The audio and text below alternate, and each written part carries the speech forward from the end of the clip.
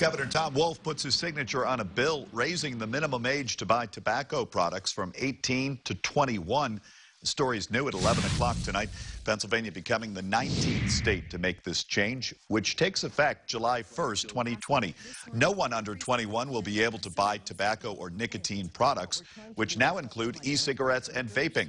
In signing the bill, the governor said one of the goals is to better protect young people. The new law also bans e-cigarettes and vaping products from school property in Pennsylvania.